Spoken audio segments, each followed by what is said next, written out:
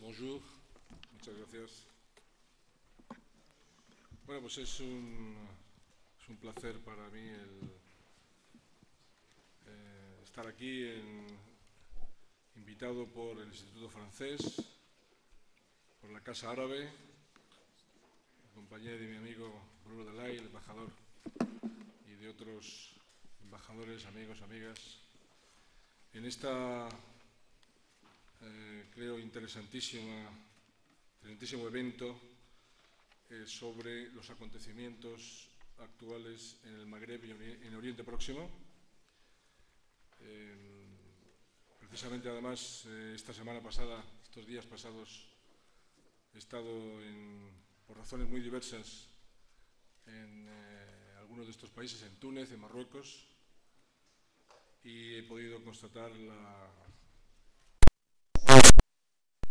trascendencia no solo política, trascendencia eh, mediática, por supuesto, trascendencia económica, eh, cultural y personal incluso de lo que está sucediendo, eh, algo inimaginable hace muy poco tiempo, lo que está sucediendo en el norte de África y que nos obliga, en la expresión más exacta de la palabra, nos obliga a los europeos a tomar una posición también a ese respecto.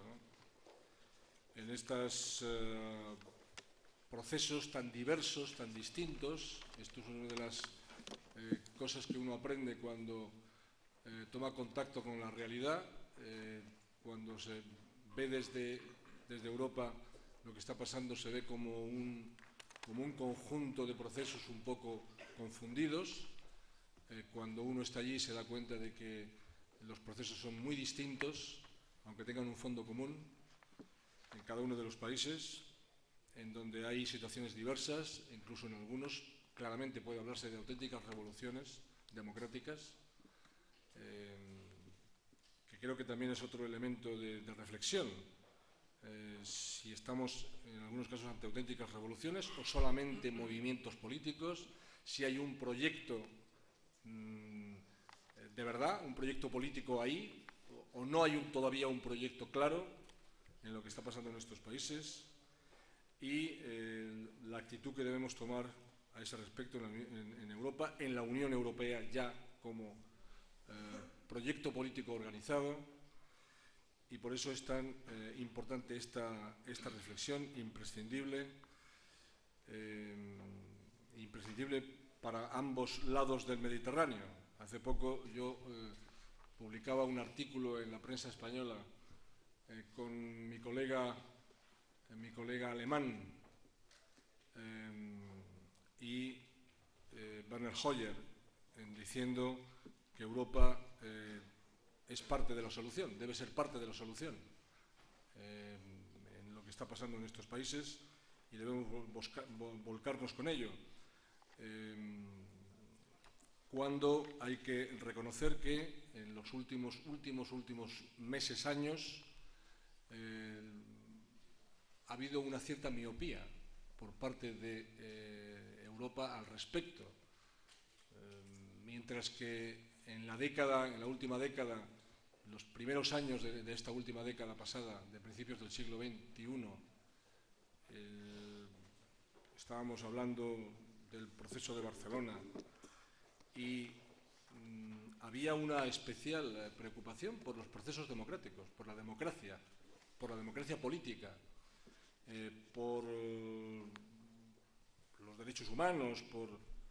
y sin embargo la impresión es que en los últimos meses, años, eh, Europa ha pasado a preocuparse menos, se preocupaba menos, se preocupaba más de aspectos más securitarios, por ejemplo, del tema del terrorismo, con prioridad, o incluso temas económicos, más directamente económicos, con prioridad a los procesos políticos democráticos, creo que hoy tenemos que ser capaces, desde la Unión Europea, de saber eh, equilibrar la perspectiva económico-social con la perspectiva política, esta última algo olvidada en los últimos tiempos bajo el proyecto ambicioso, sin duda, pero también un poco decepcionante de la Unión por el Mediterráneo, como digo, en, los últimos, eh, en, el último periodo, en el más reciente periodo.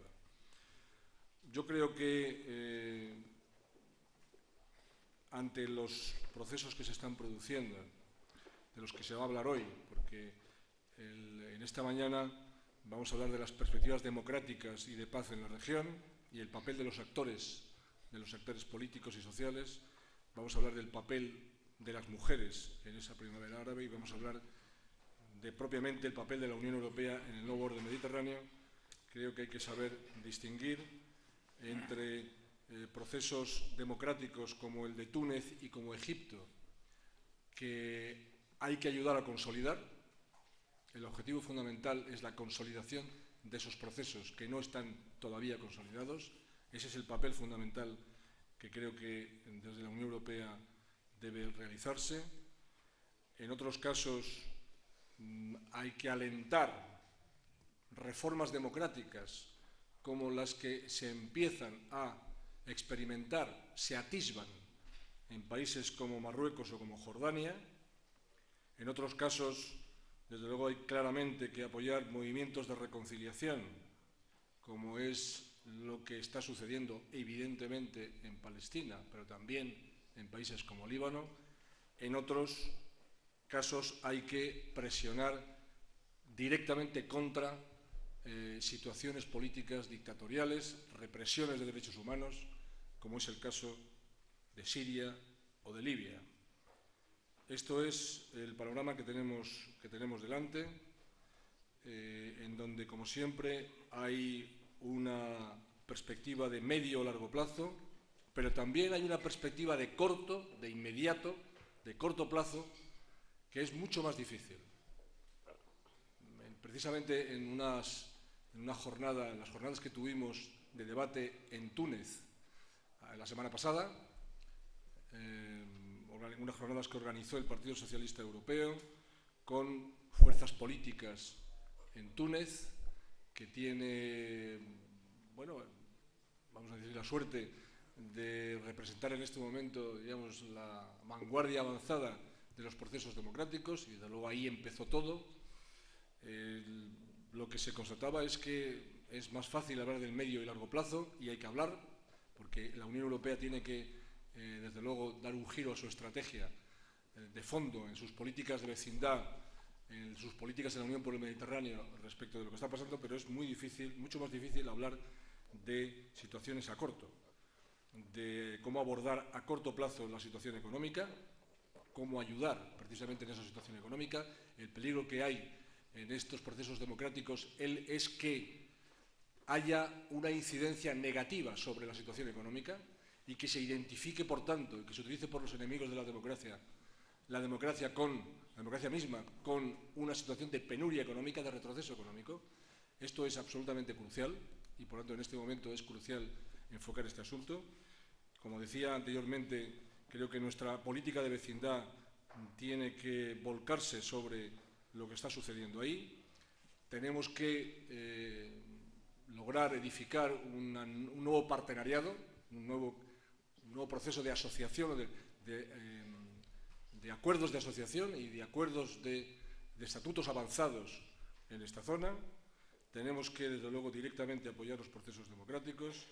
Tenemos que ser capaces de establecer una compatibilidad entre el Islam y la democracia, algo que en Europa creo que se había considerado de forma muy escéptica siempre, y desde luego, claramente una prioridad por el apoyo a la defensa de los derechos humanos.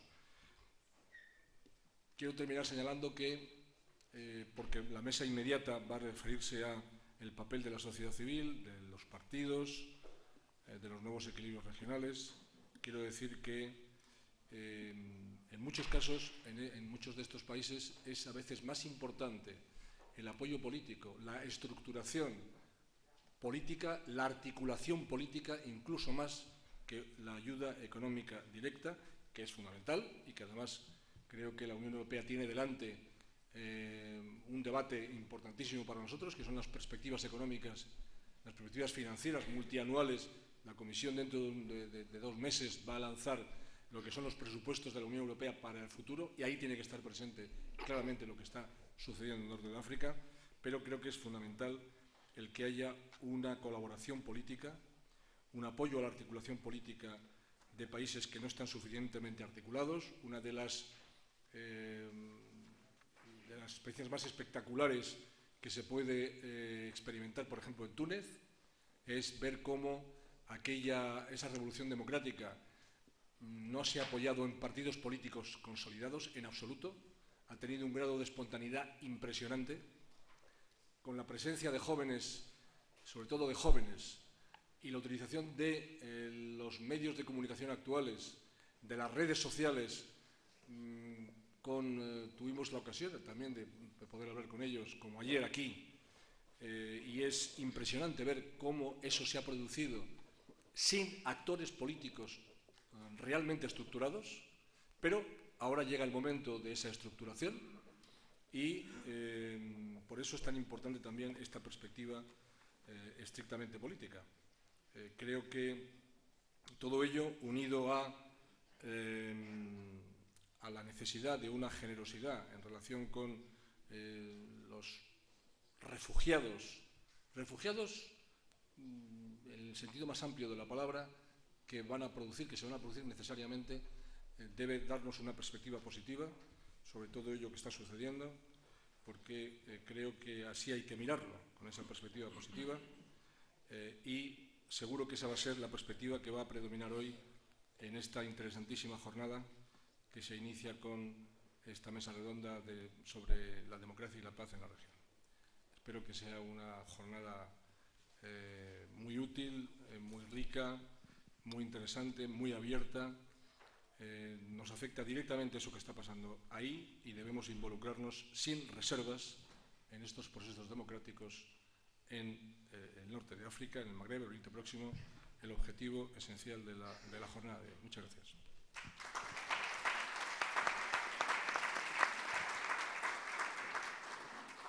Muchas gracias al señor López Garrido por sus palabras. Bonjour, buenos días a todos. Les quiero dar la bienvenida a esta mesa redonda sobre las perspectivas de la democracia en eh, el mundo árabe. Eh, doy la bienvenida a nuestros ponentes. Ahlan wa sahlan bikum. Tenemos con nosotros a Abdul Karim Al-Iriani, el ex primer ministro de Yemen y miembro del Club de Madrid. Abdelmonim Abul Futuh, representante de los Hermanos Musulmanes de Egipto. Najib Abu Warda, profesor de Derecho Internacional Público y Relaciones Internacionales en la Universidad Complutense de Madrid. Y Alaa ad-Din Arafat, investigador del Centro de Estudios y Documentación Económica, Jurídica y Social del Cairo. El profesor Oliver eh, Roy no, va a poder estar con nosotros por un problema técnico.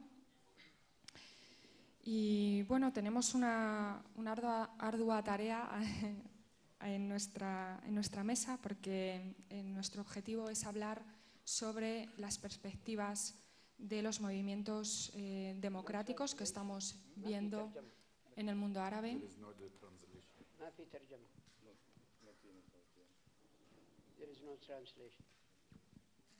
No sé si se me escucha bien.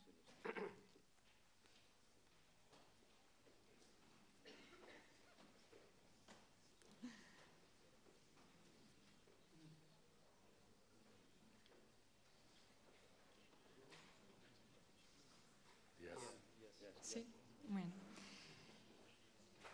Vamos a tratar de, de, debatir aquí sobre si estos movimientos son irreversibles, si hay peligro de, de, que exista una reacción contrarrevolucionaria, sobre todo en Egipto y Túnez, donde ya las revoluciones han vivido eh, un éxito eh, rotundo. Vamos a analizar también en esta mesa cuáles son las condiciones institucionales indispensables para una democracia duradera en estos países, es decir, cómo pueden garantizar las reformas y mantener sus logros. También hablaremos de países como Yemen, Siria, eh, Libia, Marruecos, además de Túnez y Egipto. Eh, nos suscita especial atención la Asamblea Constituyente que será elegida en julio de, de este año en Túnez eh, y sobre todo ver qué esperanzas podemos proyectar en ella. Otro bloque importante de debate para nuestros ponentes puede ser cuál va a ser el papel del Islam político en esta primavera árabe, cuál va a ser su relación en esta nueva sociedad que se crea a partir de ahora, si habrá lugar para las alternativas más radicales como la rama salafista. Y creo que sería interesante evocar si el modelo turco puede servir de ejemplo. Y por último, cuál debe ser el papel del ejército en el nuevo paisaje político en Egipto y Túnez, pero también en otros países. Pido a nuestros ponentes concisión, quizá nos sirva eh, eh, concitar ideas en, algunos mensajes clave o ideas clave, con intervenciones no más de 10 minutos y luego así podemos tener tiempo para, pasar al debate y a las preguntas del público.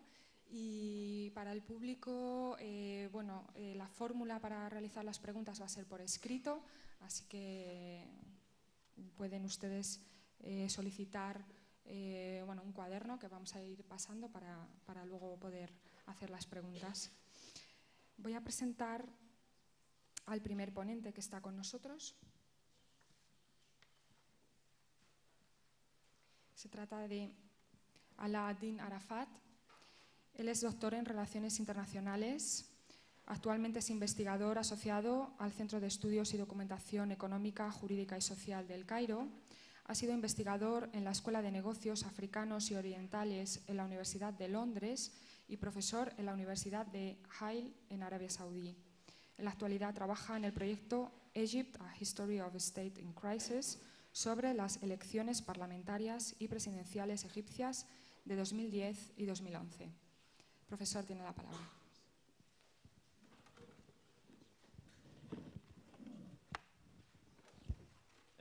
صباح الخير جميعا. الحقيقة إن الورقة أصلا كانت مكتوبة باللغة الإنجليزية بس نظرا لظروف الترجمة فأنا هقولها باللغة العربية. الورقة بتاعتي بعنوان الخاسرون والكاسبون من ثورة 25 يناير. في مصر. في مصر. يس هتكلم عن الخاسرون والكاسبون فيما يتعلق بالافاق المتوقعة للديمقراطية والسلام والتوازن الدولي في منطقة الشرق الأوسط. الحقيقة في بعض النقاط الأساسية والمحاور الأساسية اللي هتؤثر على المسار الديمقراطي والتوازن الإقليمي في الشرق الأوسط. منها على سبيل المثال الإخوان المسلمين الدور المتوقع للجماعات السلفية والجهادية دور الجيش المصري في السياسة الولايات المتحدة الأمريكية وإسرائيل وده هيتم من خلال ست محاور أساسية المحور الأول متعلق ب الموقف اللي اخذته أي دولة أثناء وبعد ثورة يناير في مصر. المحور الثاني هيتعلق أنا مضطر إن أنا أتكلم في نقاط عشان الوقت. المحور الثاني متعلق بشكل النظام السياسي في مصر فيما بعد مبارك. المحور الثالث هيبقى متعلق على الدور المتوقع أن تلعبه الأحزاب الليبرالية والعلمانية في مصر. الدور الرابع هيبقى متعلق بالتحالفات الحاكمة الجديدة التي ستبنى بعد ثورة يناير 2011 النقطة الخامسة متعلقة بالدور المتوقع أن تلعبه جماعة الإخوان المسلمين في السياسة المصرية النقطة السادسة متعلقة بالدور المتوقع للجماعات السلفية والجهادية في فيما بعد مبارك. هبدأ بالجزئية الأولى المتعلقة بالإخوان المسلمين. الدور المتوقع أن تلعبه الإخوان المسلمين في في مصر هيبقى محدد أو هيحددوا نقطتين أساسيتين. الحاجة الأولى متعلقة بالتحديات اللي هتواجهها الجماعة في مستقبل دورها في مصر فعلى سبيل المثال في تحديات متوقعة من الأحزاب الليبرالية وفي في تحديات متوقعة من الجماعات السلفية وفي تحديات متوقعة من حزب الوسط المصري وفي بعض التحديات الأخرى المتعلقة بالجماعات السلفية. الجزئية الثالثة هتبقى متعلقة بالتح... مش بالتحديات لكن توحد المصالح اللي جه بشكل اعتباطي ما بين جماعة الإخوان المسلمين والمجلس العسكري وما يسمى بفلول الحزب الوطني. وأنا في الحقيقة يعني معترض على فكرة فلول الحزب الوطني لأن برغم إن الحزب الوطني انحل لكنه هو أكثر تنظيما وإحنا نقدر نقول بقيه باقي الجماعات السياسية في مصر هي اللي تعتبر فلول. أما الحزب الوطني فما يعتبرش فلول لأن برغم إنه هو الحزب قد حل لكنه أكثر تنظيما وأكثر قدرة على العمل على الأرض. آه، الجزئية اللي بعد كده هتبقى متعلقة بالدور المتوقع أن تلعبه جماعة الإخوان المسلمين في مصر. آه، أنا متهيألي إن الدور ال- ال- اللي ممكن تلعبه جماعة الإخوان المسلمين في مصر هي ممكن تكون أصبحت جزء من الماضي ال- المصري لكنها آه، مش هتلعب دور ذو نفوذ في مستقبل مصر. الحاجة التانية متعلقة بال... بالنسبة اللي ممكن تاخدها جماعة الإخوان المسلمين من كراسي البرلمان في الانتخابات القادمة أو في انتخابات آه، اللي ممكن تتم سنة 2016 آه، أنا متهيألي وده مجرد توقع يعني إن جماعة الإخوان المسلمين لن تتجاوز نسبتها ما بين آه، 35% ل 30% من نسبة ال- آه، الكراسي في البرلمان. وفي الانتخابات 2016 ممكن تقل النسبة كثيرا تبقى آه، مثلا ما بين 20 و 15% نتيجة لدخول بعض الأحزاب الأخرى وبعض الجماعات السياسية الأخرى. الشيء المهم بالنسبة لجماعة الإخوان المسلمين وبالنسبة لتوحد المصالح ما بين الجيش وما بين الإخوان المسلمين وبين فلول الحزب الوطني إن الثلاث جماعات جماعات مش مناهضين للديمقراطية لكن جماعات غير ديمقراطية بطبيعتهم والشيء الأهم إن كمان لا الجيش ولا الإخوان المسلمين عندهم رود ماب لرسم مستقبل مصر في الفترة الانتقالية. آه، الجزئية اللي بعد كده هتكلم عن آه، الجيش. الجيش ال- الجيش المصري من المتوقع أن يلعب دور مهم جدا في الفترة الانتقالية. هتحدد هيحدد دور الجيش المصري من خلال ثلاث محاور أساسية. المحور الأول, الأول هو هيكون متعلق بالدور اللي لعبه الجيش من بداية الثورة لحد 11 فبراير اللي هو تنحي آه، أو ريموفينج بريزن مبارك. آه، والدور اللي لعبه بعد 11 فبراير حتى الآن. الدور من 25 يناير لحد 11 فبراير كان دور تقريبا محايد بيحفظ النظام آه، ما هواش آه، مع المتظاهرين ولا مع مبارك لكنه كان حياد ممكن نقول عليه حياد غير إيجابي. آه، الجزئية الثانية هتبقى متعلقة بال آه، بالضغط اللي ممكن يلعبه جماعة أو متظاهرين التحرير ودي هتأثر على دور الجيش في المستقبل. الحاجة الثانية والأهم وهو إلى أي مدى ستمتد آه، توحد المصالح ما بين الجيش وما بين الإخوان المسلمين. بفتكر إن ال- الجيش المصري هي- هيحدد دوره من خلال محورين رئيسيين. أنا قربت خالص. المحور الأولاني هو هيكون متعلق باختيار الجيش هيحاول إن هو يختار شخصية عامة تكون ذات ثقة بالنسبة له لمنصب الرئاسة لأن ال- الجيش المصري متعود إن هو يحكم مصر من 52 من وراء آه، رئيس جاي من الجيش. آه، كل التوقعات بتتكلم عن آه، عمرو موسى. الحاجة التانية إن الجيش المصري هيحاول يحفظ التغيرات البنيوية اللي حصلت بعد ثورة 25 يناير. آه، وده بيدفعنا لل- لل- للكلام شوية عن التحالفات اللي كانت موجودة واللي كانت بتحكم مصر.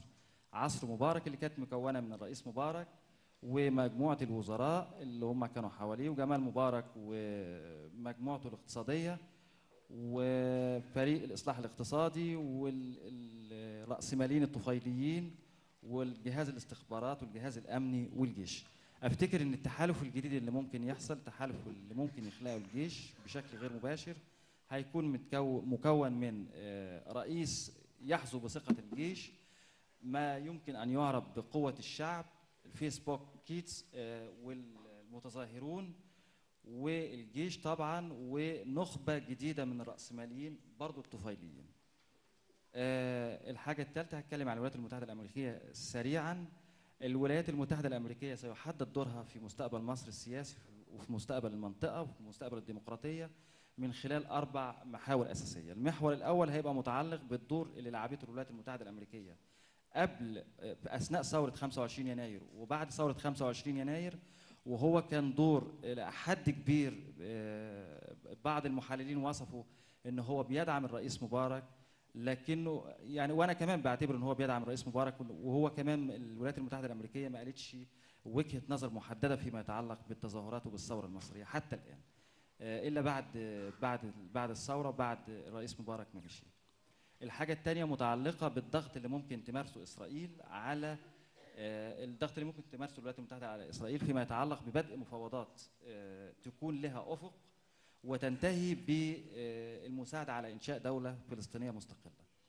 الحاجة الثالثه اللي هتحدد دور الولايات المتحدة الأمريكية هتكون متعلقة بدور الأحزاب والجماعات السياسية اللي. اللي هتعيد تشكيل مستقبل مصر السياسي. الحاجة الرابعة والأخيرة هي المساعدات اللي ممكن تتلقاها مصر من الولايات المتحدة الأمريكية آه، بعد ثورة 25 يناير. وطبعا أنا من وجهة نظر أن المساعدات لا ينبغي أن تكون مالية بس فقط أن الولايات المتحدة الأمريكية تقبل بالنتيجة الديمقراطية وما تلعبش دور زي اللي لعبته فيما يتعلق بحماس أو بحزب الله.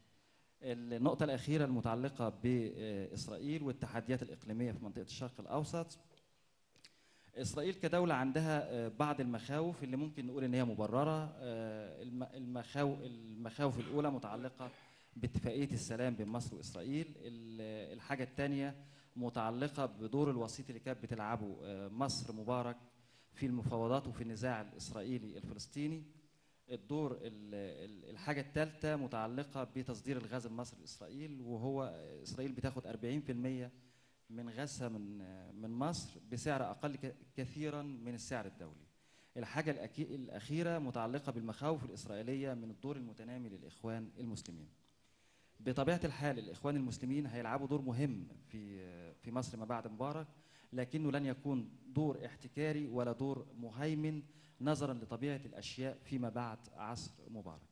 الحاجة الأخيرة متعلقة المتعلقه بإسرائيل آه، آه، إن في الآخر أي نظام جديد في مصر بعد مبارك هيحفظ معاهدة السلام من المتوقع أن يحفظ معاهدة السلام لفترة ما لكن آه، مصر السياسة الخارجية المصرية ممكن تقوم بدور زي اللي قامت بيه تركيا فيما يتعلق بعلاقتها مع الغرب وهو دور هيبقى مستقل وده ممكن دور ممكن يزعج الولايات المتحدة الأمريكية ويزعج إسرائيل خاصة فيما يتعلق بإمكانية وجود أو إعادة العلاقات المصرية الإيرانية. الحاجة الأخيرة المتعلقه بهذا الأمر وهي متع... والأخيرة بالنسبة لي وهي إن آه، مصر ديمقراطية آه، أفضل كثيرا لإسرائيل والولايات المتحدة الأمريكية من المحافظة على معاهدة سلام هي باردة في كل الأحوال. أخيرا أنا عايز بس أتكلم على يعني أجمع ده ان كونكلوجن اللي قام بالثورة المصرية آه، عدد من الشباب المتفتحين ما عندهمش برنامج أساسا ما عندهمش قائد مش عايزين يديروا حتى الفترة الانتقالية واللي أدار الفترة الانتقالية الجيش المصري ما كانش عايز يدير آه، البلد ما عند- ما عندوش الرغبة الأساسية في إدارة البلد وهي والجيش المصري هو آه، مجموعة من المحافظين بطبيعة الأشياء. آه، الحاجة الأخيرة إن إن الأربع حاجات اللي أنا ذكرتهم سواء الإخوان المسلمين أو آه، أو الجيش أو إسرائيل أو الولايات المتحدة الأمريكية كلهم بالأساس ما عندهمش آه، منهم اتنين ما عندهمش أي مصلحة في إن يكون مصر أو أي دولة في الشرق الأوسط دولة ديمقراطية لأن متهيأ لهم إن أي دولة ديمقراطية ممكن تناهض المصالح الأمريكية والإسرائيلية في الشرق الأوسط خاصة فيما يتعلق بإسرائيل والولايات المتحدة الأمريكية. ال- بالنسبة لل- للجيش والمجموعات زي الإخوان المسلمين وزي السلفيين والجهاديين اللي جمع وفلول الحزب الوطني اللي جمعتهم مصالح غير مرتبة وغير مكتوبة. هي جماعات بالأخير جماعات آه، غير غير ديمقراطية بطبيعتها. والشيء الأهم إن كل التطور اللي حدث في الشرق الأوسط انتهى بمقتل بن لادن. وأفتكر ده هيكون ليه تأثير كبير جدا فيما يتعلق بالديمقراطية وفيما يتعلق بالتوازن في منطقة الشرق الأوسط. شكرا جزيلا.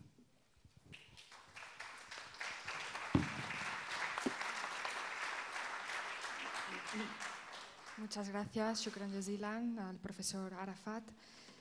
Damos la palabra ahora a Abdul Karim Aleriani. Él, eh, desde 2007, es secretario general de la Asociación Árabe para la Democracia, organización no gubernamental a la que pertenecen 17 países.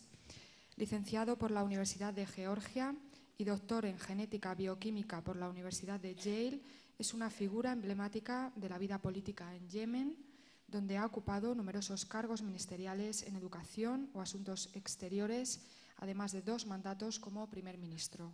Señor Aleriani. أتقدم بالشكر الجزيل للقائمين على هذه الندوة وأعبر عن سعادتي في أن أشارك في هذا الملتقى الذي يعقد تحت عنوان ربيع العرب وإذا أخذنا هذا العنوان بمعناه المناخي فإن الربيع يتبعه صيف ثم خريف ثم شتاء.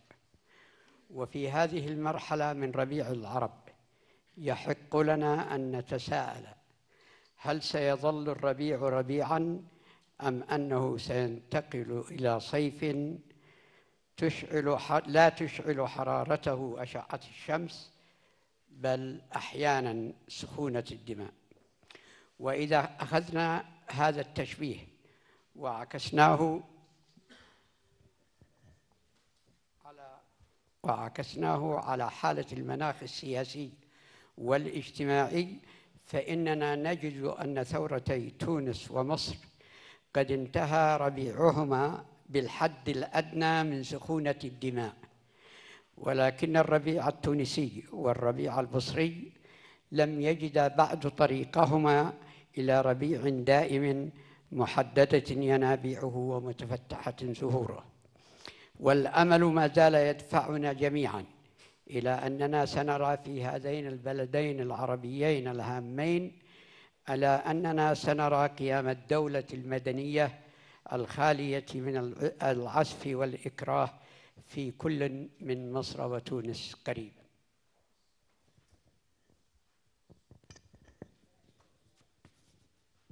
أما في ليبيا فقد بدأت الثورة ساخنة بسخونة شمس أغسطس خالية من أي ربيع وما زالت الدماء تسفك دون أن يكون هناك ما يدل على أن حرارة شهر أغسطس التي بدأت في شهر فبراير سوف تفضي إلى ربيع تتفتح أزهاره أزهاره ليفرح بها شباب ليبيا.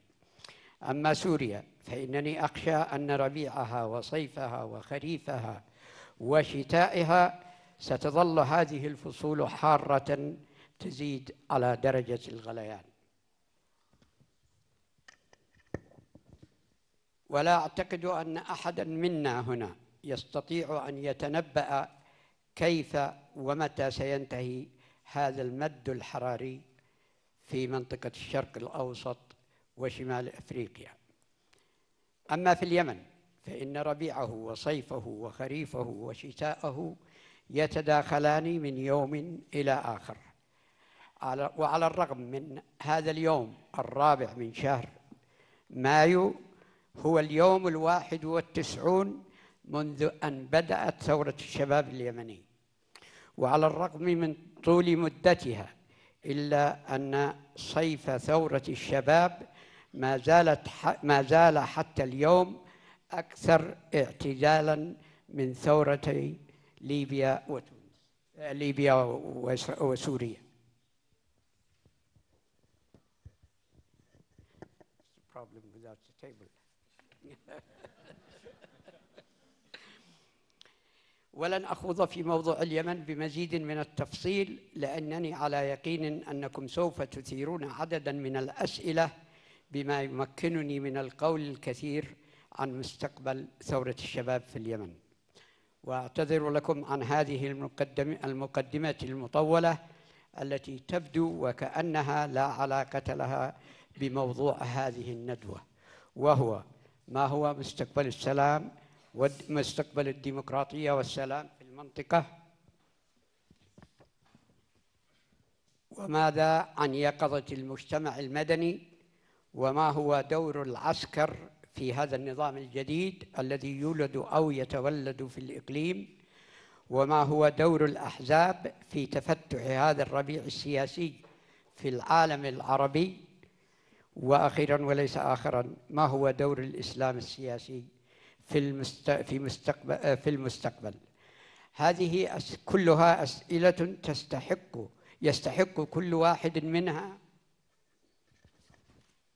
أن تعقد له ندوة بذاته ومع ذلك فإنني سوف أحاول الرد على هذه الأسئلة مؤكدا أن ما سأقول ما سأقوله لا يعتبر حكما جازما أو انتقاصا لما تستحقه هذه المواضيع مستقبلا. لذلك فسوف أتطرق إلى هذه العناوين وباختصار. فيما يخص فرص السلام آه، أتفق مع زميلي علاء الدين أن الحالة العامة في المنطقة لا تميل إلى حالة الصراع أو الاقتتال. وكان واضحا في مصر بالذات أن المجلس العسكري أكد التزامه باتفاقية كامب ديفيد في أول بيان له. ولكن فرص السلام في رأيي آه، تزيد في ظل الديمقراطية وأتفق مع الدكتور علاء الدين وهي آه، أكثر ضمانة مما لو آه، تمت عليه في ظل أنظمة غير ديمقراطية. وأتذكر أنني كتبت مقالة قصيرة في عام 1900 عام كام ديفيد على كل حال. 78 وقارنت الفرق بين آه، ما جرى في مصر بعد اتفاقية كام ديفيد وما جرى في إسرائيل. ما جرى في مصر خرجت الجماهير تحيي الزعيم وتهتف له. ما جرى في إسرائيل نقاش في البرلمان دام من الصباح حتى صباح اليوم التالي. وهذه هي المفارقة. فيما يخص دور منظمات المجتمع المدني آه، لا شك أن هذه الظاهرة وهي جديدة على المنطقة. آه، دورها سينمو ويتنامى وبكل تأكيد. آه، وأنا أعتبرها صمام أمان لثورة الشباب لأن منظمات المجتمع المدني بالرغم مما يقال عنها هي أكثر ديمومة من حركة الشباب. وأعتقد أن الوعي السائد الآن لدى منظمات المجتمع المدني هو الدفاع عن حقوق الإنسان والحقوق السياسية والاجتماعية وهذه ظاهرة في نظري إيجابية. آه، دور العسكر سيختلف أو يختلف جذريا من مكان إلى آخر. آه، كلنا أعجبنا بالدور الذي قام به الجيش المصري ولكن الدور لم ينتهي بعد. ولست مؤهلا أن أتنبأ كيف سينتهي دور الجيش المصري في هذه الثورة. لكن المؤكد أن الشباب ليسوا جزءا من إدارة الحكم اليوم. هل ذلك بإرادتهم أم مفروض عليهم؟ لا يوجد أصدقاء هنا أكثر آه، قدرة على التعبير عن لماذا ليس الشباب في مصر فاعلين في إدارة الحكم. وأن العسكر هم المديرون لها. آه، في اليمن هناك انقسام داخل الجيش. جزء يؤيد ثورة الشباب وجزء يحافظ على النظام إذا أخذناها بتعبير مدني. آه، فلا لا أعتقد أن آه، أي من الطرفين سوف يشرك الشباب. وخصوصا أن مشكلة الشباب في اليمن مماثلة لمشكلة الشباب في مصر. لا توجد قيادة موحدة لهم ولذلك آه، بالرغم من العاطفة الجامحة لدى الناس في أن يروا الشباب مشاركين فالأمر ما زال آه، متروكا. ما هو حاصل في اليمن اليوم هي أن الأحزاب السياسية التقليدية هي التي تدير الأزمة إقليميا على الأقل ودوليا.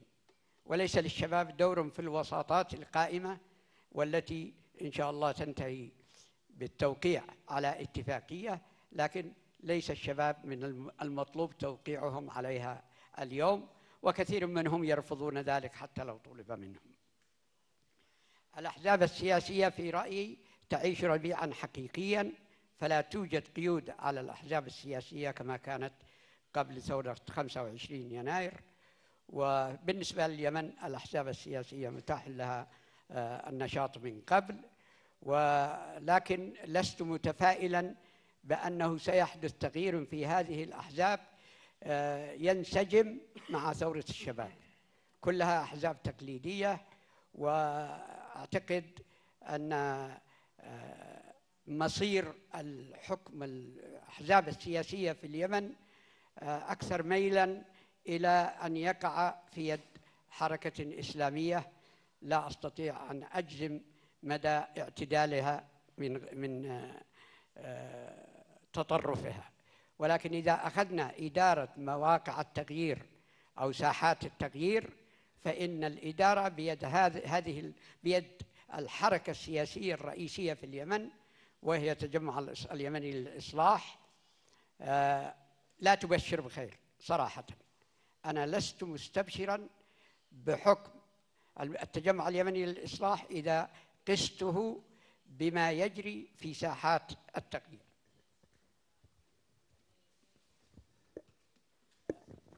أما الإسلام السياسي فزميلي الدكتور أبو الفتوح أكثر وأقدر وأجدر أن يتحدث عنه لكن لا يمكن إلا أن يكون لي رأي. إسلام سياسي الله أو كما يقال في حديث شريف اللهم إسلام كإسلام العجائز فأنا أقول اللهم إسلام كإسلام تركيا. فيما يخص التوازن الإقليمي الجديد لا أتوقع أن يختل. آه، أعتقد إسرائيل لا ترغب في أن ترى الديمقراطية في الوطن العربي لأنها تريد أن تتعامل مع رأس واحد والديمقراطية متعددة الرؤوس متعددة الآراء فلا أتوقع أن ذلك يسعد إسرائيل والسلام عليكم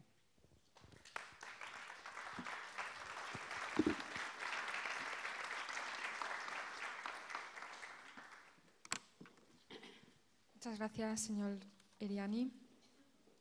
Damos la palabra a continuación a Abdel Monim Abul Futuh, que es miembro del Consejo Consultivo de los Hermanos Musulmanes de Egipto, en donde se le considera como uno de los principales defensores del ala reformista. Antiguo presidente de la Unión de Estudiantes de la Universidad del Cairo, ha sido uno de los líderes estudiantiles islamistas más activos de su generación y un activo opositor al presidente Anwar el-Sadat ha sido detenido en varias ocasiones y ha pasado cinco años en la cárcel. Señor Abul Futuh,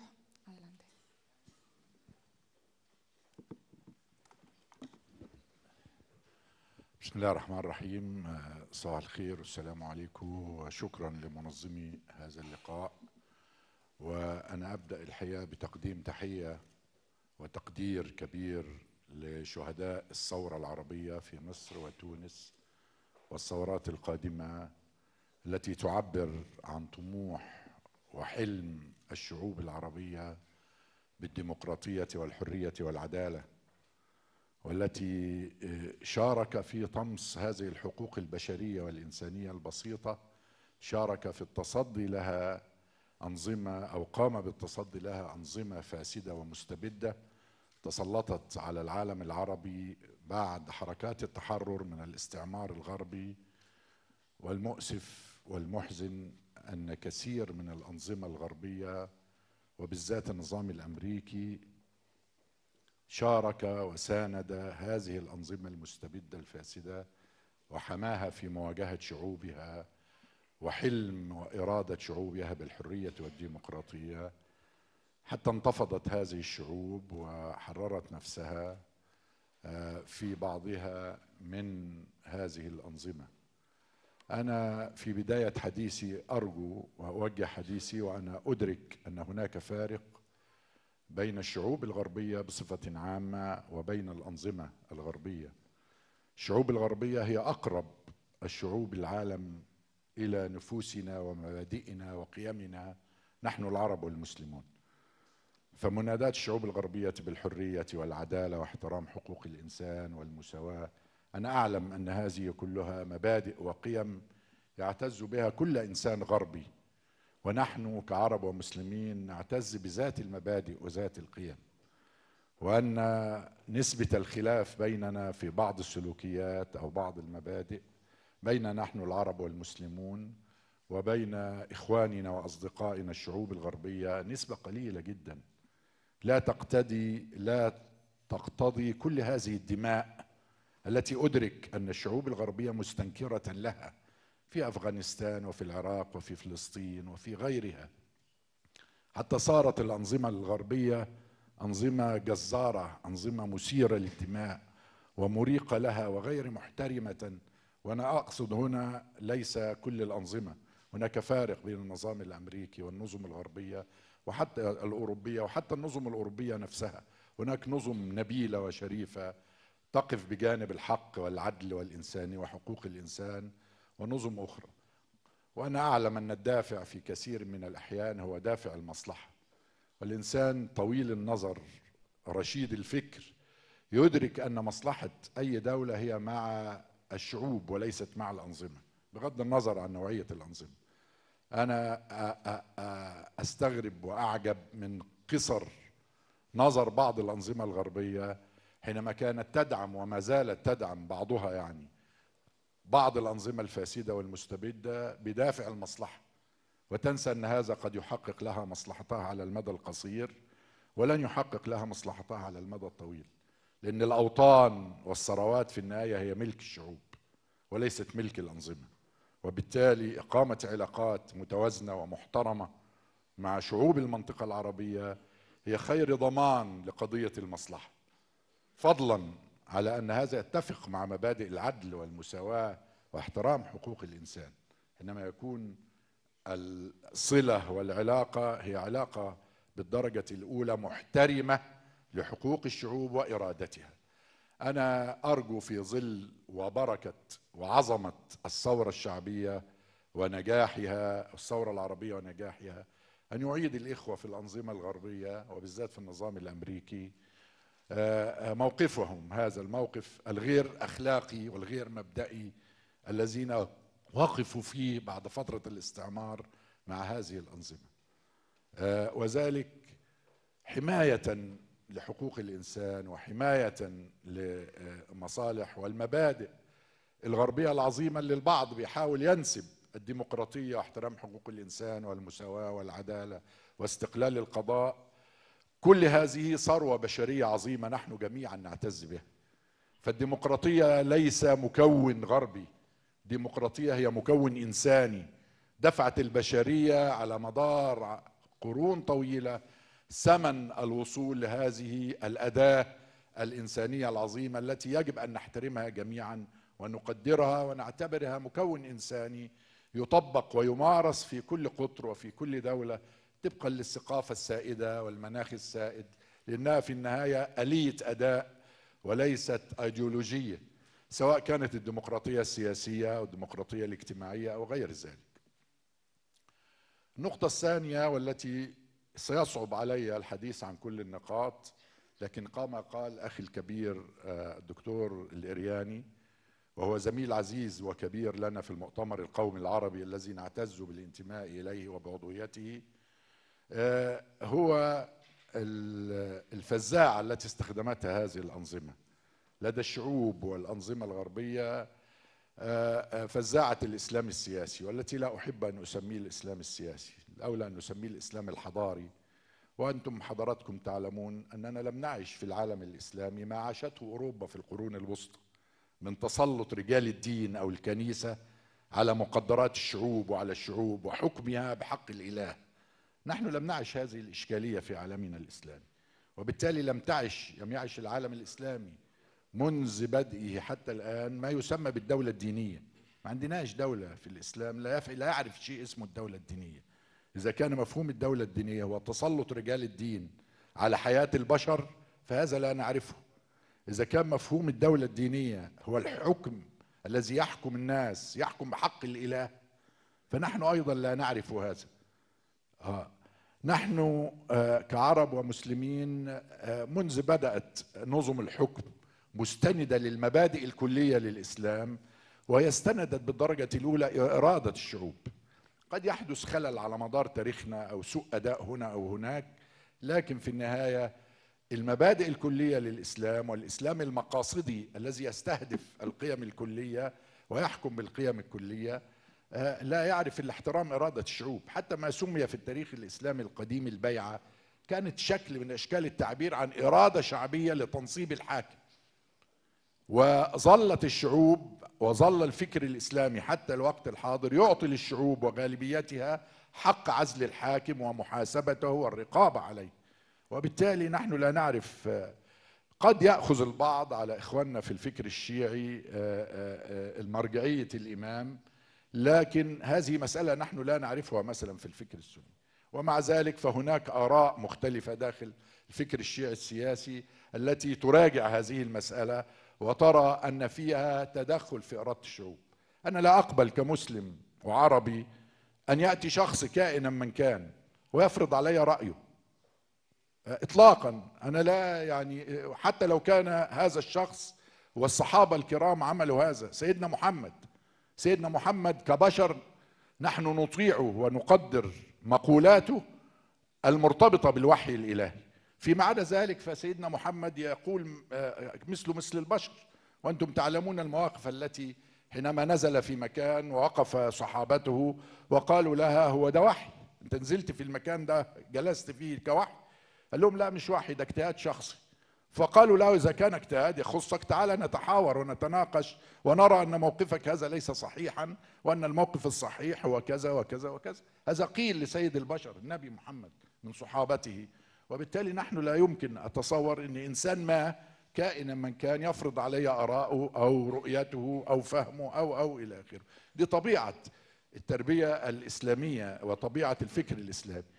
التيار العام في الحركات الإسلامية على مستوى العالم تيار وسطي تقدمي تيار متسامح هناك على جانبيه بعض المتطرفين.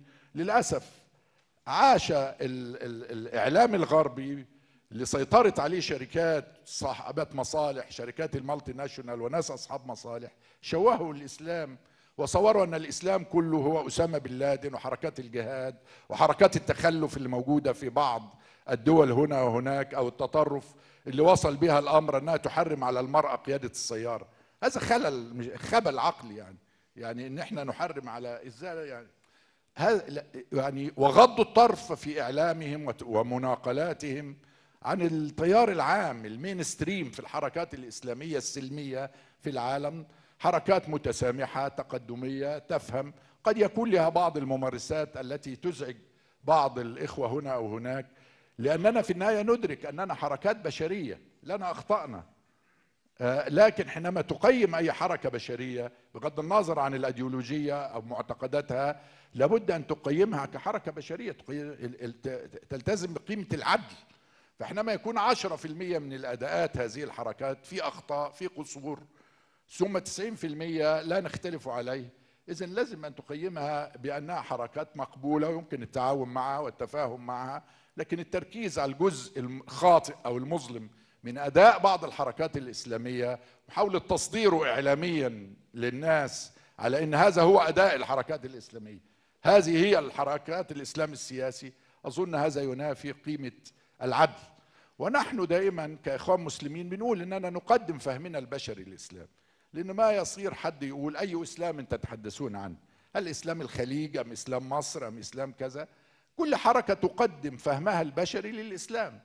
الذي يمكن أن يقبل أو يرفض. نحن لا نقدم شيء مقدس للناس. نحن نقول هذا فهمنا للإسلام. المقدس هو القرآن والسنة. نحن نقدم فهمنا للقرآن والسنة أو للإسلام. الذي يمكن أن تقبله أو ترفضه كلية. فإن رفضته فإنك لا ترفض المقدس ترفض فهمي.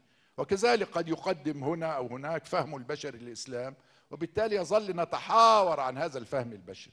وأنا أقول هذا المعنى عشان يحل مشكلة البعض يقول أنتم تتحدثون عن الإسلام كيف نناقشكم؟ نحن إذا ناقشناكم قلتم قال الله قال رسوله إذا تسكتوننا بهذا الكلام. نحن قلنا نحن نقدم فهمنا شرحنا للإسلام. ممكن تقبله وممكن ترفضه. وتقبل أو ترفض شرح أو فهم آخر للإسلام. وبالتالي نحن في هذا السياق نتحدث كبشر ونتفاهم كبشر أيضا وليس من باب لا التقديس ولا ولا إلى آخره. وبالتالي المواقف اللي البعض قد يقبلها أو يرفضها من الإسلام الحضاري أو الإسلام السياسي نحن مواقفنا واضحة من قضية الديمقراطية منتهى الوضوح والحسم. هذه قضية نعتبر إن دي آلية إنسانية يجب أن نقدرها ونحترمها جميعا. ونحن نكاد توضيح للأخ العزيز الدكتور علاء كنا التنظيم السياسي الوحيد اللي في مصر على مدار 30 سنة بيأتي بقيادته بالانتخاب.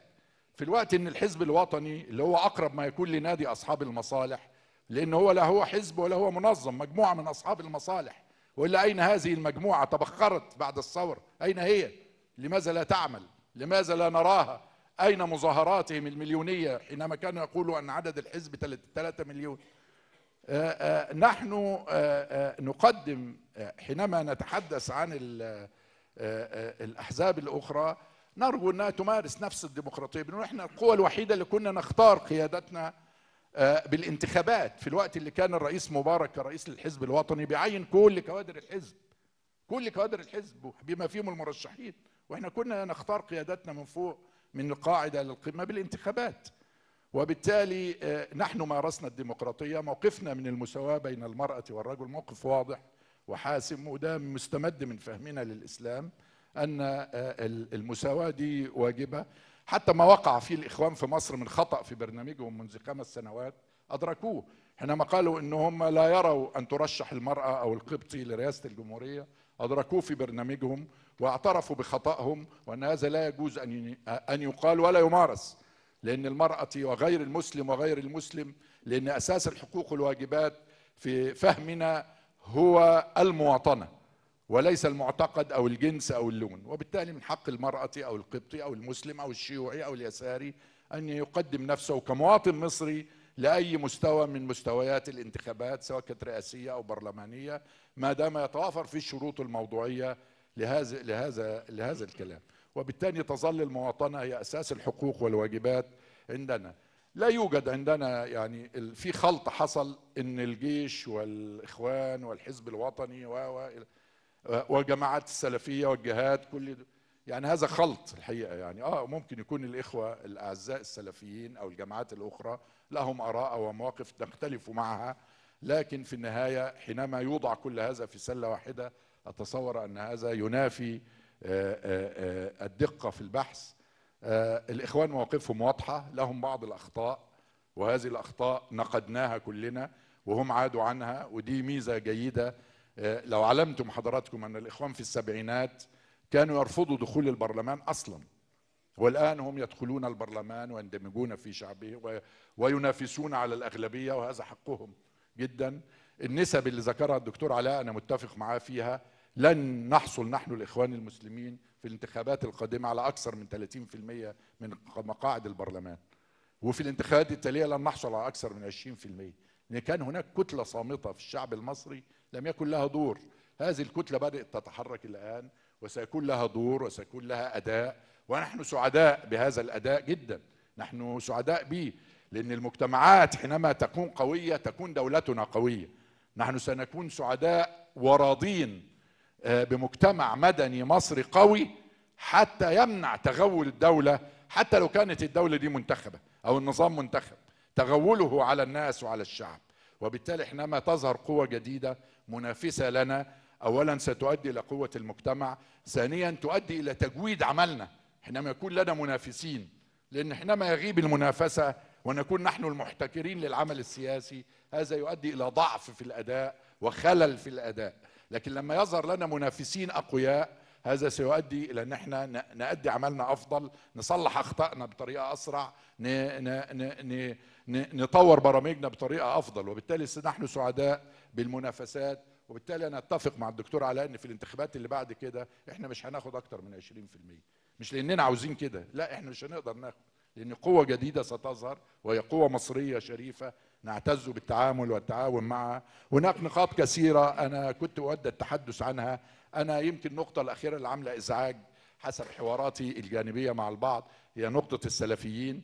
طبعا السلفيين على مدار 30 سنة هذا تجمع إسلامي يحمل بعض الأفكار أو الآراء اللي البعض قد يراها متشددة في الإسلام لكنها مجموعات سلمية كانت ليس لها أي دور سياسي لأن النظام كان يمنعها من ممارسة السياسة وهي تجاوبت معه ولم تقم بعمل نضالي مثل الإخوان المسلمين أو دخلت السجون من أجل الدفاع عن الحريات والديمقراطية.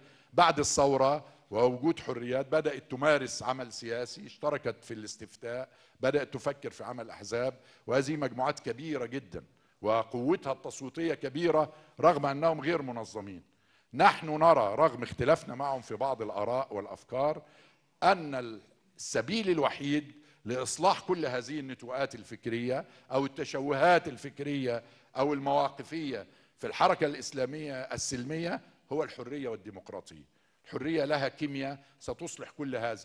دع الناس ما لم يستخدموا العنف يقولوا ما يشاء ويفكروا فيما يشاء ويطرحوا ما يشاء ثم يكون الحوار والنقاش والأخذ والرأي وتبادل الرأي هو الوسيلة لإصلاح ما نختلف فيه وما نعترض عليه.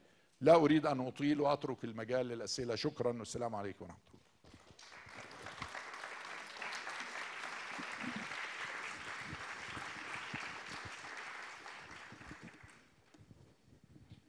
Muchas gracias, señor Alfuto. Damos la palabra ahora a Najib Abu Guarda, que es profesor de Derecho Internacional Público y Relaciones Internacionales en la Facultad de Ciencias de la Información de la Universidad Complutense de Madrid. Actualmente dirige un proyecto de investigación con la Universidad Al-Azhar en Palestina sobre el papel de los medios de comunicación en la transición política palestina. Comentarista y analista de la actualidad internacional, es miembro del Comité Científico de la Revista de Estudios Internacionales de la Universidad Complutense de Madrid. Profesor. Muchísimas gracias. Bien, eh, evidentemente lo que eh, está pasando en el mundo árabe podemos decir que no es algo nuevo.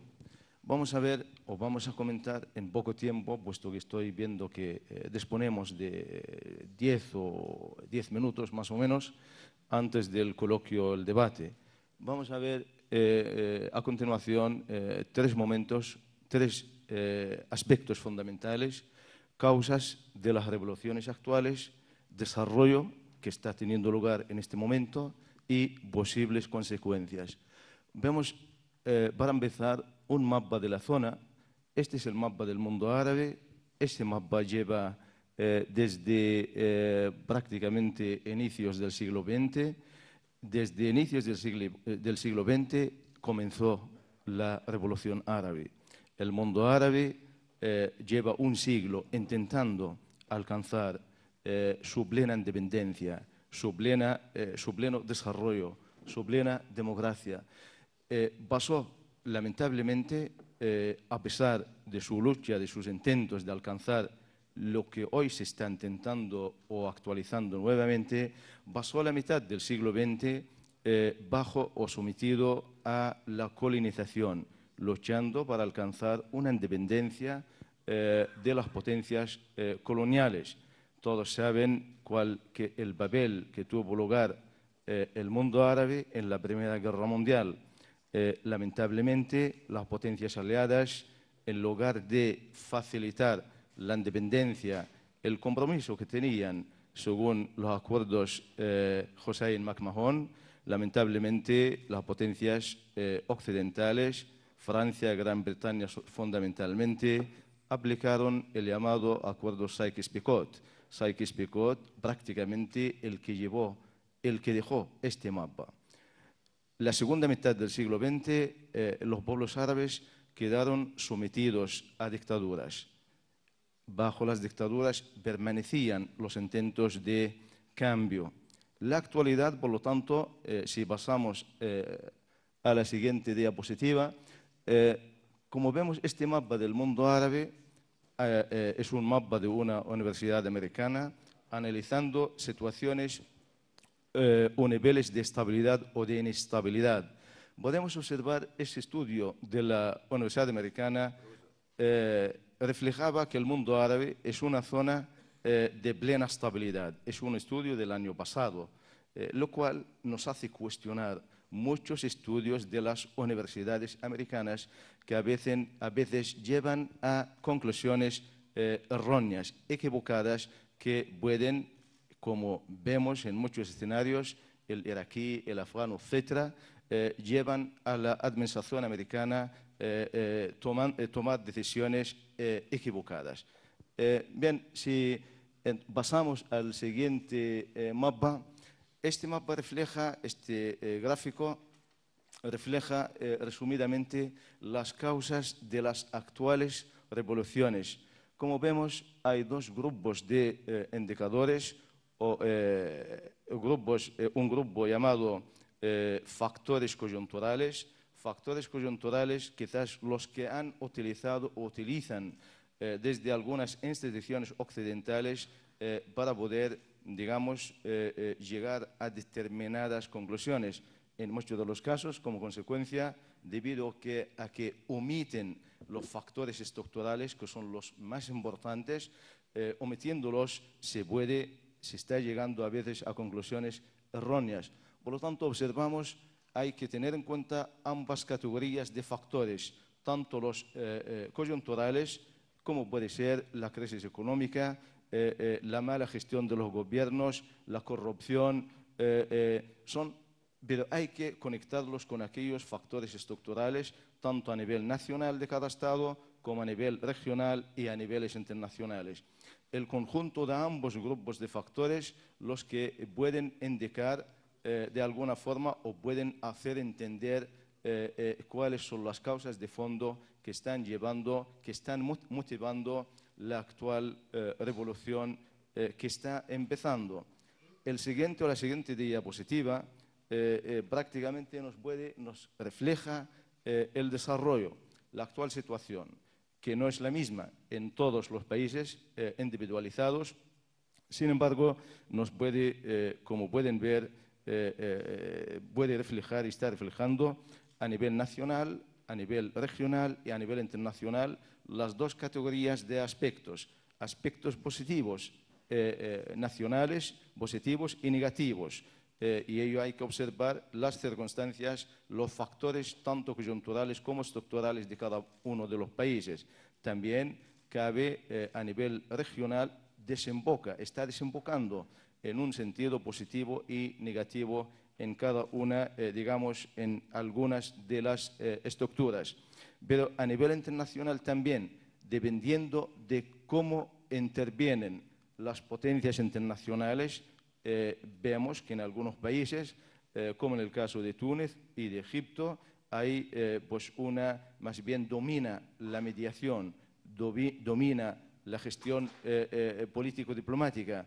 En otros aspectos, la intervención internacional, en el caso de Libia, va más allá que la diplomacia, está eh, llevando a cabo acciones militares. Por lo tanto, en cada una de estas categorías estamos teniendo, estamos observando eh, situaciones o aspectos negativos y positivos, nacionales, regionales e internacionales. La tercera diapositiva, que eh, quizás la que eh, podemos contemplar hablando, reflejando consecuencias, posibles consecuencias, posibles efectos de lo que está pasando en este momento. Sin duda alguna, cuando hablamos de expectativas de futuro, tenemos que tener en cuenta tres eh, periodos de tiempo. O sea, lo que puede pasar de aquí eh, en el plazo corto de tiempo, plazo medio de tiempo y largos plazos de tiempo. Son transiciones políticas muy sensibles, muy delicadas. El plazo corto de tiempo se puede medir de 1 a 5 años.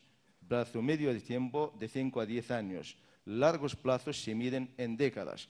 Y como ven, igual en, esta, eh, en este gráfico, a nivel en el plazo corto de tiempo, teniendo en cuenta eh, los cambios coyunturales y estructurales simultáneamente a nivel nacional, a nivel regional y a nivel, eh, y a nivel internacional.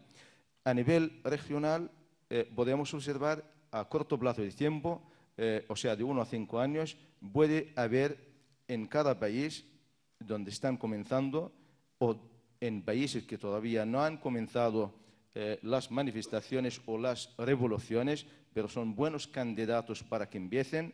Hay factores, digamos, coyunturales que los que explican por qué en algún país comienza, han comenzado, por qué en otros países todavía no han comenzado. Hay aspectos comunes que indican que la revolución árabe va a tener lugar en todo el conjunto árabe y quizás tendrá efectos más allá que el mundo árabe, eh, en países que viven condiciones eh, similares y, eh, por lo tanto, eh, eh, en el plazo, volviendo, corto de tiempo, en de 1 a 5 años, a nivel, regio- a nivel nacional, eh, podemos observar eh, eh, efectos importantes. de 1 a 5 años, efectos eh, eh, eh, incluso muy importantes. A nivel regional, efectos secundarios. A nivel internacional, sin efectos o con pocos efectos, puesto que tarda en alcanzar, digamos, el escenario mundial, lo que está teniendo lugar a plazos medios de tiempo, de 5 a 10 años, sin duda alguna, a niveles nacionales, la transición puede tener efectos más profundos que el plazo anterior. A nivel eh, regional empieza a tener importantes efectos y a nivel internacional puede empezar teniendo ciertos efectos a nivel, lo más importante, a largo plazo, 10, 20, 50 años. A largo plazo, sin duda alguna, va a cambiar, a niveles nacionales van a cambiar radicalmente muchos países. O sea, países como Egipto seguramente va a haber eh, estructuras democráticas, de plena democracia. Eh, a niveles regionales, las democracias eh, nacionales en el mundo árabe pueden desembocar en expectativas de unión árabe, sin olvidar las incidencias de la cultura islámica o árabo-islámica. Por lo tanto, a nivel regional, cabe a largo plazo, cabe la posibilidad de una mayor integración política, mayor unidad, eh, eh, digamos, mayor unidad política, mayor integración económica. Eh, caben las posibilidades de hablar de un mundo árabe unido. Es una zona enormemente privilegiada. Tiene todos los indicadores de poder transformarse en una nación árabe. Es la zona del mundo, digamos, donde hay una cultura común, donde hay expectativas comunes, inquietudes comunes, eh, falta evidentemente cambiar las estructuras de Estado para alcanzar niveles similares a las que tiene la Unión Europea en la actualidad. Y eh, a pesar de que muchos autores a veces cuestionan el concepto de nación árabe, sin embargo, eh, los datos indican no es, digamos, no es algo con nulas expectativas de realización. Por lo tanto a nivel eh, mundial, a largo plazo, por lo tanto, cabe la posibilidad de que las democracias en el mundo árabe, de que un mundo árabe unido, un mundo árabe democrático, eh, empiece a generar enormes expectativas de paz mundiales, eliminando evidentemente como consecuencia quedarán eliminadas las causas de la inestabilidad, las causas de la conflictividad, alcanzando soluciones profundas a, todos, a todas las causas que generan fenómenos de extremismos, de radicalismos, de injusticias, de desequilibrios mundiales. Por lo tanto, a nivel mundial puede haber mayores expectativas de paz a largo plazo eh, como consecuencia de lo que estamos observando en el mundo árabe. En todo caso, en el debate, puesto que me han indicado que teníamos 10 eh, minutos, espero no eh, haber pasado de ese tiempo y dejamos el debate abierto. Eh, muchísimas gracias.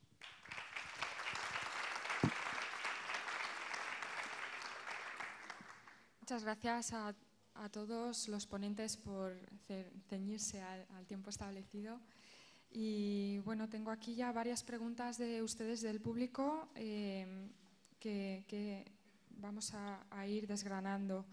La primera, eh, se puede dirigir a cualquiera de los ponentes que quiera contestar. Es, una pregunta en general para ellos. ¿Creen que sería posible el apoyo por parte de países extranjeros y ONGs internacionales hacia una reconversión de las Fuerzas Armadas, y yo añadiría quizá de las Fuerzas de Seguridad en general, la policía también, en favor de la paz, en favor de la democracia.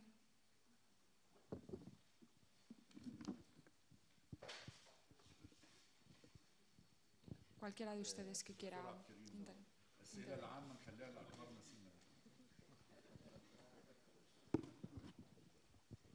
Shukran. دور منظمات المجتمع المدني كما قلت دور يتنامى. ولكن هناك من يشكك في هذه المنظمات نظرا لارتباط بعضها بمنظمات خارجية.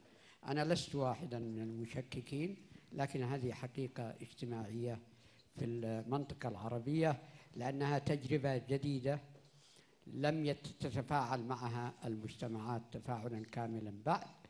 ومع ذلك فأنا أعتقد أن التوجه الدولي والعالمي في حماية حقوق الإنسان سيجعل لها تأثيرا في وضع حقوق الإنسان داخل آه، بلدانها. وأنا شخصيا متفائل بدورها وشكرا.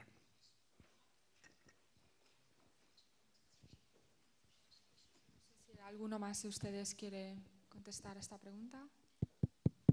Bien, podemos un poco matizar o ampliar o... o- o- o- mm, eh, eh, pienso que la mejor forma de intervención desde la sociedad internacional eh, justo no debe ser militar. O sea, demasiadas intervenciones militares hay en el mundo árabe, demasiados desastres militares en el mundo árabe. Eh, yo creo que eh, eh, eh, la mejor forma es mm, ayudar, apoyar la transición pacífica por medios pacíficos. A través de él hay muchos medios pacíficos, negociación, eh, reconciliación, etcétera. Pero precisamente el- lo que dije antes, el mundo árabe ha pasado casi eh, toda su historia contemporánea con intervenciones militares y desea eh, eh, cambiar de esa forma de intervenciones que pueden incluso influir muy negativamente y no es muy difícil observar lo que ha pasado, lo que está pasando en Irak, lo que está, está pasando en Libia. Eh, es mucho, o sea, hablo desde la óptica de los pueblos árabes. Al margen de sus posibles consecuencias, las intervenciones militares nunca son positivas.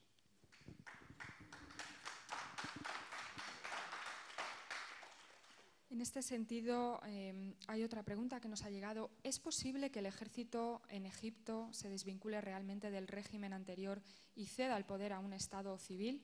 No sé si el profesor Arafat nos puede contestar.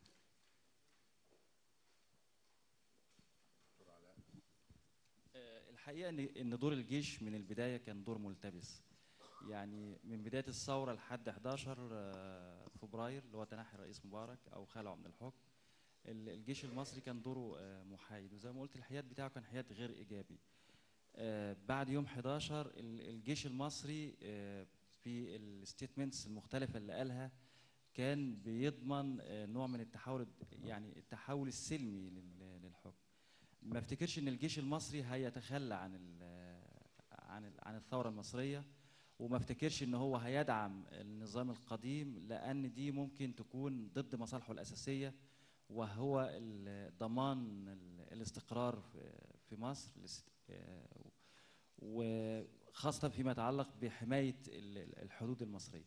فأنا بعتقد إن الجيش المصري من مصلحته حاليا إن هو يضمن آه، فترة انتقالية تكون قصيرة جدا تسليم الحكم آه، لشخص ممكن يكون آه، ذو ثقة بالنسبة لل- للجيش آه، ويرجع الجيش المصري لسكناته يمارس دوره وي- ويمارس آه، بعض من نفوذه من وراء آه، رئيس مدني أو آه، أو رئيس ممكن يكون extension للنظام النظام الرئيس مبارك وممكن يكون ده شخص مثلا واحد زي عمرو موسى. لكن ما افتكرش إن الجيش المصري هيتخلى عن عن الثورة وما افتكرش إن هو ممكن يرجع تاني للنظام القديم لأن ما حدث بعد 25 يناير لا يمكن أن يعاد مرة ثانية. thank you. وتوضيح يعني آه، عشان في تناقض بين إن الجيش يقف مع الثورة وإنه يسلم الحكم لشخص ذو ثقة يعني هيتدخل في الانتخابات القادمة ويزور مثلا لصالح عمرو موسى ولا باعتبار أنا ببني على كلام الدكتور علاء باعتبار إن عمرو موسى هو يرى إن في غالبية رأيه إن ده مرشح اللي ممكن الجيش يدعمه. هو أنا رأيي إن الجيش المصري لن يسمح لا هو يريد ولا الثورة ستسمح له بأن يتدخل في السياسة. وهو الجيش المصري وهذا نقدره له والثورة أيضا ترى أن دوره هو حماية الوطن وحمايه الدستور وعدم التدخل في السياسة. الثورة المصرية كانت واضحة بكل اتجاهاتها. لن تسمح للجيش المصري أن يكون له دور سياسي. يكون حامي للوطن. نعم. والجيش نفسه أعلن هذا من أول يوم. وأنا لا أستطيع أن أشكك في نوايا الجيش المصري آه، آه، لأن ممارساته حتى الآن إذا كان البعض بيسمها بالتباطؤ والبعض تطرف ووصفها بالتواطؤ مع النظام القديم وإن كنت ليس مع هذا الوصف اطلاقا. قد يكون هناك تباطؤ بسبب عدم قدرته على إدارة عملية سياسية. لكن من أول يوم نحن أعلنا أن الجيش المصري ليس مصدر قرارات بل منفذ لقرارات الثورة. وبالتالي حينما حصل تباطؤ في تقديم رموز النظام الرئيس السابق وأولاده وأسرته واعوانه الرئيسيين إلى المحاكمة حصل الثورة خرجت الشعب خرج مرة أخرى في مظاهرة مليونية وأمر الجيش المصري والجيش المصري بيعتز بان هو بياخد أوامره من الثورة المصرية. مش هو بيصدر أوامر. نحن لن نسمح للجيش أصلا ولا الجيش بحكم وطنيته التي نعتز بها كمؤسسة وطنية يسمح لنفسه بأن يصدر قرارات أو يدير البلاد إلا مصدر ما يتفق عليه الثورة. حول هو مبارك وأسرته والرموز الكبار اللي تركوا شهرين حتى رتبوا أوراقهم وهربوا أموالهم أو الجزء كبير منها قدموا لمحاكمة. نحن لا نريد وأنا أحد أعضاء مجلس أمناء الثورة آه، لا نريد أن نظلم بريئا من النظام السابق ولا نريد أن نبرئ مجرما. سرق أموالنا وعذب إخواننا وصا إخواننا المصريين وقتل من قتل منهم وأدخلهم السجون.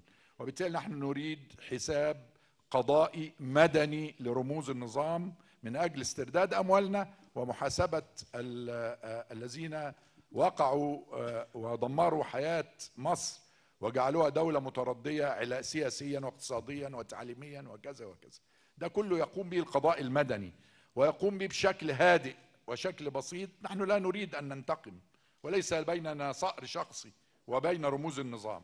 لكن هناك حساب للوطن وحقوق للوطن لا يملك شخص ولا مؤسسة ولا حركة مهما كان حجمها أن تتنازل عن هذه الحقوق الوطنية.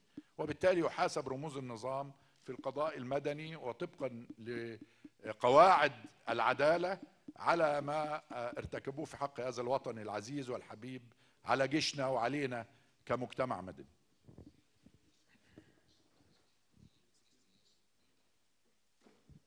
أنا بس عايز يعني توضيح بسيط للدكتور عبد المنعم. يعني أنا ما قلتش إن إن الجيش هيظهر الانتخابات لصالح عمرو موسى. أنا قلت إن ممكن من المحتمل أو من المتوقع أو أكثر التوقعات إن عمرو موسى يحظى بدعم الجيش. ما قلتش اطلاقا. يعني دعمه يعني إزاي؟ يدعو الناس لانتخابه مثلا؟ يتدخل؟ okay. ده اللي أنا قلته تحديدا. ما قلتش أكتر من كده. ما شككتش في دور الجيش. وما عنديش أي مشاكل مع الجيش المصري. أما فكرة إن الجيش المصري لا يدير البلاد لا الجيش المصري بيدير البلاد وفكرة إن الجيش المصري بيستجيب للثورة أو بينفذ الثورة لا هو بيرضخ لضغوط الثورة. ده, ده, ده الأساس في الموضوع. لكن هو عنده أجندته الخاصة بيه اللي بيدير بيها البلاد والجيش المصري لا يستمع لأحد ولا يتشاور مع أحد. ولو كان الجيش المصري بيتشاور مع أحد كان كان ممكن بعض التباطؤ اللي حصل ده كان ممكن في حاجات إجراءات كتير اتخذت من البداية ما كانش حصل زي ما انت قلت حضرتك إن الناس هربت فلوسها و... وحرقت ورقها أو قطعت ورقها إلى آخره. الجيش المصري عايز يحافظ على تطور أو فترة انتقالية سلمية فقط.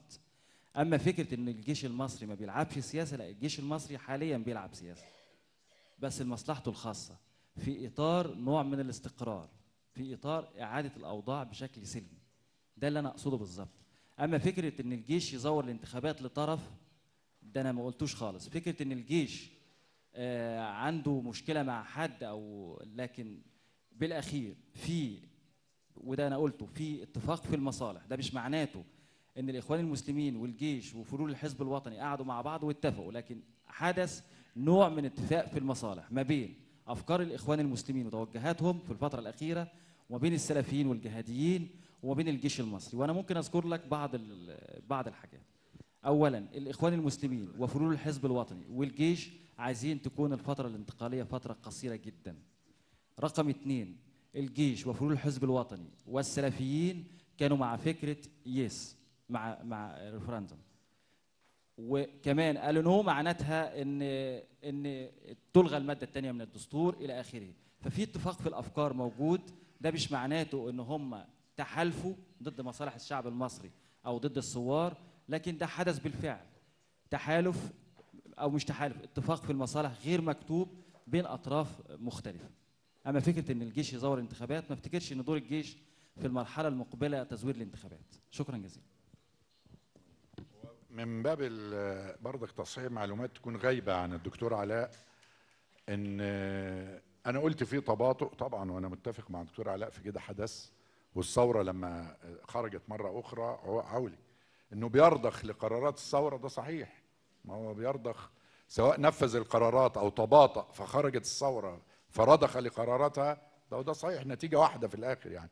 أما ما لا يتشاور مع أحد فيمكن يكون غايب عن الدكتور علاء أن الجيش المصري بيتشاور مع كثير من الناس وأنا دي بقول معلومات. بيتصل بالأحزاب والقوى السياسية وشباب الثورة والشخصيات العامة ويعقد جلسات معهم لاستطلاع رأيهم في قضايا والحوار في قضايا مختلفة. هذه الحوارات يعني قد لا تكون حوارات إعلامية وهي حوارات ليست قاصرة على أي طرف مصري. مع كل الأطراف المصرية بيتشاور مع اليسار ومع الإخوان ومع الشخصيات العامة ومع شباب الثورة نفسه. جلس أكثر من عشرين جلسة على وجه التحديد وكان شبابنا شباب الإخوان بيشارك في هذه الجلسات حتى يستطلع رأيهم. أنا بقول هذا من باب الأمانة أمانة النقل الامانه العلمية. طبعا آه، آه، أنا لا أنا كنت في الجيش المصري ولا أنا يعني مع الجيش المصري ولا أنا أسمح للجيش المصري أن يكون له دور سياسي في المستقبل. الأوضاع الثورة فرضت عليه حفاظ على الاستقرار أن يكون يدير ما تقرره الثورة وهو يريد أن يرجع. الأمر المهم أننا لم نكن نريد أن تكون الفترة. نحن أول من نادينا كإخوان مسلمين وأنا أعلنت هذا اعلاميا أننا نريد فترة انتقالية طويلة أو ليست قصيرة بمعنى أدق ولتكن سنتين. وهذا أنا أعلنته في الإعلام وقلت إن لو اختير مجلس رئاسي مدني من خمسة من قضاة محكمة النقد أو خمسة من قضاة مجلس الدولة ومعاهم ممثل للمجلس العسكري يديروا البلاد في المرحلة الانتقالية والجيش يرجع لسكناته من تاني يوم على طول. وده بقى مجلس مؤقت مدني يدير البلاد ونعطي لنفسنا سنتين على الأقل يكون المجتمع المدني تحرك وقواه نشأت حتى لا يكون المصوت المصري المواطن المصري ما أماموش إلا بقايا القوى القديمة ال- أو السابقة على الثورة وإحنا منهم. إحنا نريد إن القوى المجتمع المدني والكتلة الصامتة التي تشكل 80% من الشعب المصري تقوى وتكون أحزابها ومنظماتها المدنية لأن قلت كما قلت في كلماتي هذا لصالحنا أن يكون لنا